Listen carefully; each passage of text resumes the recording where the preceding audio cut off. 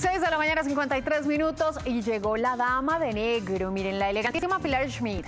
Mi querida Pili, como siempre, póngale la magia a esta hora de la mañana a la primera emisión.